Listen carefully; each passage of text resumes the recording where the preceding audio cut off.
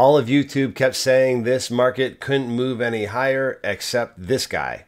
Let's go. Now, a couple months back, you can watch my video on the blow off top target or the monthly one that I put out right before that, where at the end of January, I originally discussed how I came up with the 432 target area. I'll go ahead and link that video at the end of this one so you can review it. But to summarize a little bit, I talked about how once we got above this 100% fib extension level, the likely next magnetic area would be this 1.618 fib area, which not only coincided with 432, but also we had this trend line that was a very long trend line that you had to actually put in log. A lot of people were talking about this trend line, but not putting it in log. But when you're dealing with prices going from 150 to 500, you have to put it into log or else it doesn't have the right fit. And so I explained how this area would likely act as resistance. And once we got into this area, then we could go ahead and likely retrace. Honestly, at the time, it seemed just a little bit crazy, but I stayed bullish through it all. After that video at the end of January, I ended up taking 69 trades, winning 45 of them, losing 16, and had eight draws. So ask yourself, are we there yet? I hope not. But like all good things, they must come to an end. And this is coming from a guy that had over a two to one win rate. Now, for all of you that missed the rally, I have some good news for you. The next fib level is 100% higher at the 262% area.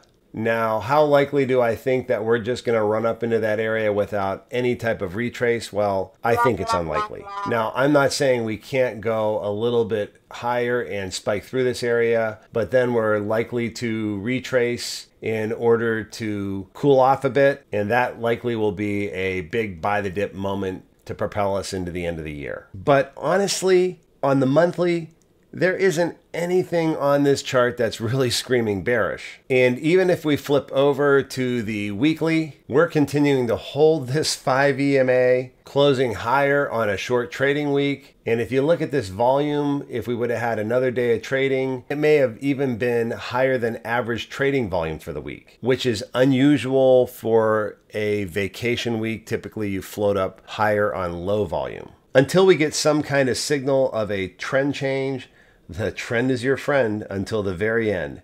Now, could earnings coming up be the next catalyst or some black swan like the market hasn't priced in with maybe banks starting to fail or something like that? Sure. Otherwise, for now, if you aren't long, then you've been wrong. Next, the Qs. You know the NASDAQ top 100. It does look a little bit different as this month we put in a doji candle. But remember, this doji candle signals indecision by buyers and sellers. This not only could reverse, but it could just continue higher.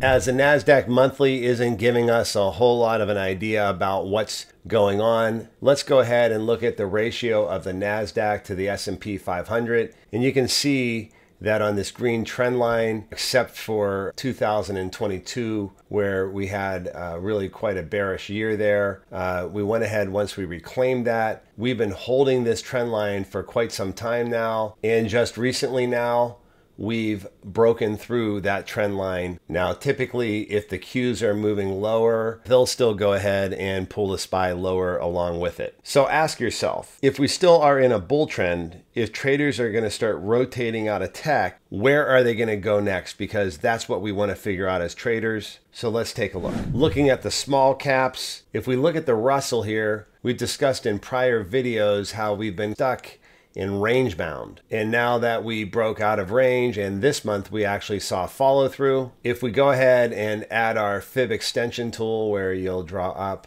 down to your low and then out, we see that this 100% area on the extension goes ahead and aligns well with an area of distribution that we saw in the past. And this distribution went on almost for a year. So if we look at this 100% area, that takes us somewhere around 230. So maybe what this is starting to tell us is that money will be rotating into the small caps. This is why recently I started adding that I track, such as basic materials and real estate to the portfolio as I want to go where the puck is going. Also, some not so profitable stocks like FinTech, they may start to become more interesting as well. And as you can see here, I go ahead and signal and comment on over 70 equities. So if you're having trouble getting into trades, go ahead and join the Discord for $5 a month. And not only will you get the signals, but you'll get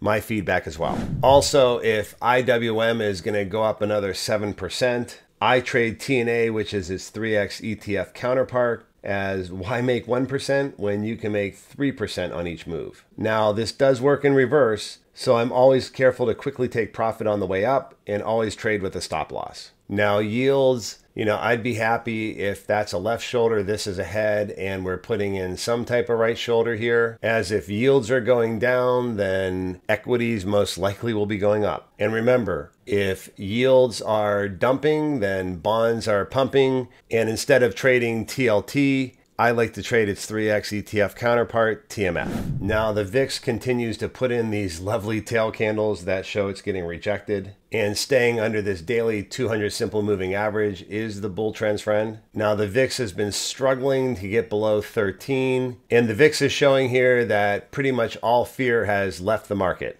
Now, one last thing to look at here, if we look at the percentage of stocks trading above their 50-day moving average, we see that we're finally coming into an area where we're getting a bit stretched. Now, this also shows that we could still inch a little bit higher, maybe before reversing, but we are definitely getting there with over 80% of the stocks trading above their 50 day moving average. Hopefully, all this information that I gave you makes you want to hit that subscribe button, as that's all I have for now until the next video, and we'll see you then.